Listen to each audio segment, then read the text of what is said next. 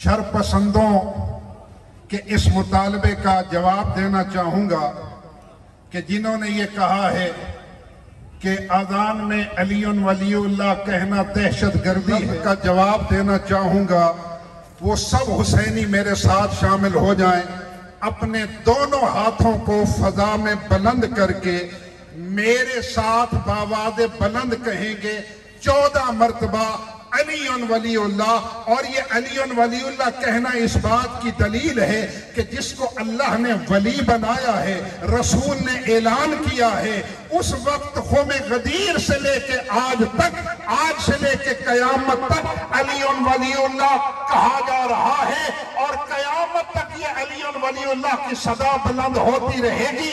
कोई माई का लाल इसको रोक नहीं सकता, लिहाजा चौदह साथ कहें अली वलीउल्लाह। अली वलीउल्लाह। अली वलीउल्लाह। अली वलीउल्लाह। अली अली वलीउल्लाह।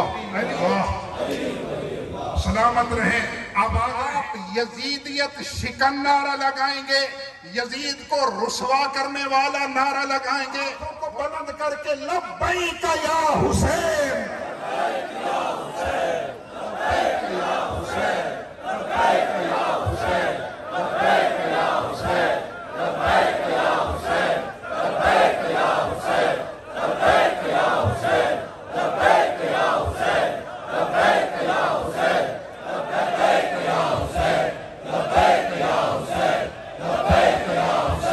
तक के लिए ज़िंदा किया है।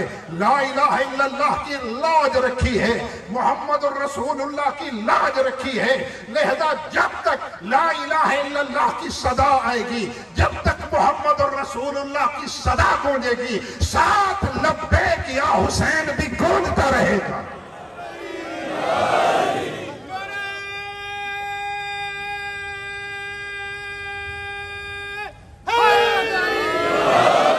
सकता है।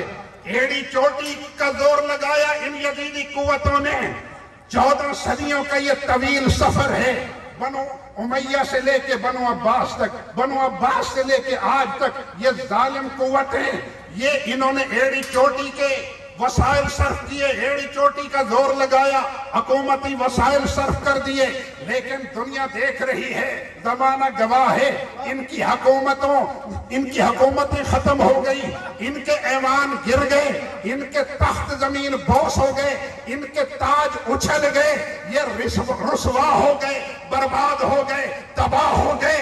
इनमें से किसी की कब्र का निशान तक मौजूद नहीं। लेकिन वो हुसैन, जिसके नाम को मिटाने के लिए इन्होंने एड़ी चोटी का दौर लगाया जमाना देख रहा है। आज गिलगित के पहाड़ों से लेके ये कराची के साहिल तक और इस कश्मीर के पहाड़ों से लेके गवादर के साहिल तक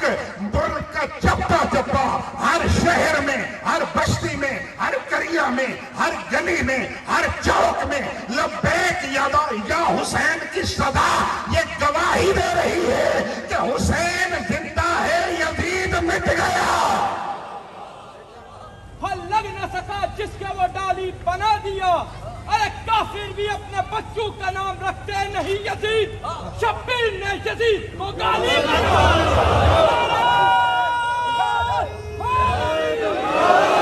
को है कि हम जब इन्हें धमकी देंगे कि देखो सड़कों पे ना आओ, हम एफ़ आई आर दर्ज करेंगे, हम तुम्हें गिरफ़्तार करेंगे, हम तुम्हें जेलों में डालेंगे, हम तुम्हें जिंदानों में डालेंगे, और हम तुम्हारे हाथ में हथकड़ी कड़ियाँ पहनाएँगे, और हम तुम्हें कैदी बनाएँगे। ये हुसैनी है, ये करबलाई है, ये आशूरे वाले हैं। हम तो वो कौम है कि हमने चौदह सदियों के इस सफ़र में हमने हथकड़ियाँ पहनी है सुन्नत सज्जाद समझकर। हथकड़ियाँ पहन देंगे हम जंजीरें पहन देंगे हम अपनी जान दे देंगे और हम जिंदानों में चले जाएँगे। हम अपनी औलादें कुर्बान कर देंगे, लेकिन कभी भी यदीदियत से समझौता नहीं करेंगे। यजीदियत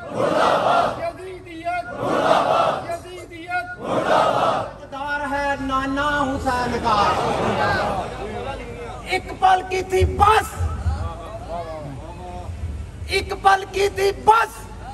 हकूमत यजीद की, सदियाँ हुसैन की है, जमाना हुसैन का।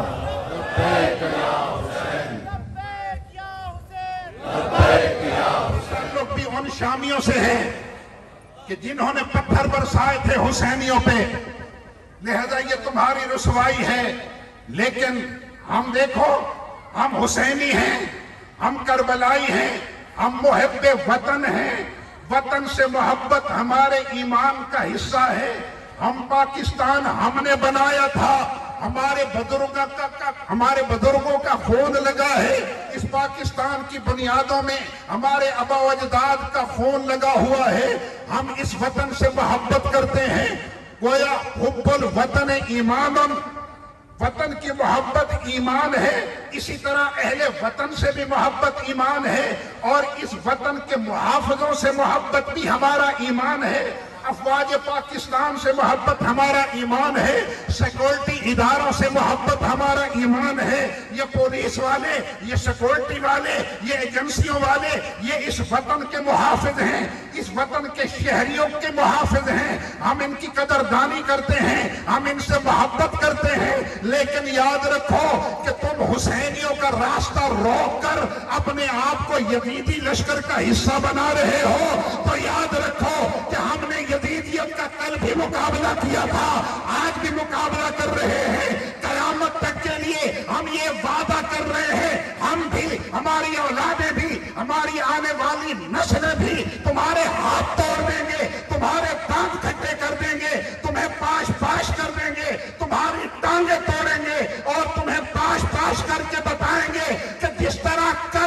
यजीद रुसवा हुआ था यजीद की औलादे भी कयामत तक रुसवा होती रहेंगी। बुनियाद ये वतन कायम हुआ था। क्या नारा? नारा आज भी मौजूद है, ऑन रिकॉर्ड है, रिकॉर्ड का हिस्सा है। पाकिस्तान का मतलब क्या? ला इल्लल्लाह। एक दफ़ा आप सारे मिलकर कह दें, हम फिर तजदीद अहद करते हैं। पाकिस्तान का मतलब क्या? पाकिस्तान का मतलब क्या? पाकिस्तान का मतलब क्या? पाकिस्तान का मतलब क्या?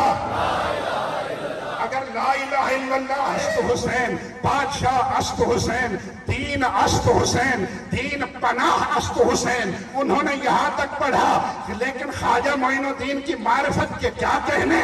वो कहते हैं, हक्का के बिनाए ला अस्त हुसैन। रोक के, भाई हुसैनी जलूस में हम अपने अब, हम अपना तो ज़िक्र नहीं करते, अपने दोस्तों का तो ज़िक्र नहीं करते, अपने माँ बाप की तो खूबी बयान नहीं करते, हम तो बिना ला का तस्करा करते हैं। हम तो ला इलाहा की बुनियाद का ज़िक्र कर रहे हैं, और तुम हुसैनी जलूस का रास्ता रोक के एफ़ आई आर दर्ज करके, शर्म की बात है, रुसवाई की बात है, कान खोल के सुनो। रुसवाई और शर्म की बात है। हुसैनी जलूस अगर दस मिनट लेट हो जाए एफ़ आई आर अगर मजलिस दस मिनट लेट हो जाए एफ़ आई आर शर्म नहीं आती। ला इलाहा की जो बुनियाद है उसकी याद में निकलने वाले जलूस पे एफ़ आई आर मातमियों पे एफ़ आई आर अदादारों को नुकसान पहुंचाना चाहते हो। अगर इस मुल्क में या हुसैन की सदा बुलंद नहीं होगी, अगर इस मुल्क में बिना ला का तस्करा न होगा, अगर इस मुल्क में लब्बैक या हुसैन की सदा बुलंद नहीं होगी तो मैं खबर दे रहा हूँ, ये मुल्क टूट जाएगा, ये मुल्क कायम नहीं रह सकेगा।